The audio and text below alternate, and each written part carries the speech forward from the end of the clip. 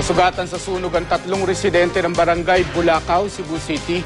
Labing tatlong bahay ang nasunog sa Sitio Laguna nitong Sabado. Nahirapan ang mga bumbero na apulahin ang sunog dahil makikitid ang mga daang papasok sa lugar. Base sa investigasyon, posibleng nagsimula raw ang sunog sa posporong pinaglaruan ng isang bata. Umabot sa 300,000 pisong halaga ng pinsala.